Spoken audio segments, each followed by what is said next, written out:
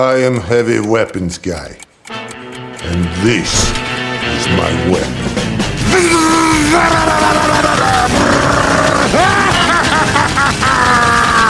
Nom nom nom. Nom.